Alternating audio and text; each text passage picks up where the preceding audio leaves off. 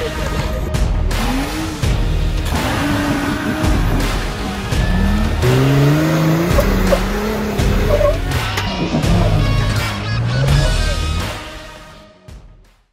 going on guys, welcome back. So today is the day we paint the chassis. Uh, by we, I mean my father because I don't have the patience to paint.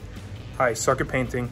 Um, I'm just gonna let him take over. He's been painting for a long time, so he knows a lot more about it than I do. I'm just gonna step back and film it and show you guys the process of how we painted my chassis. So it's gonna be a fairly short video. I uh, hope you guys enjoy.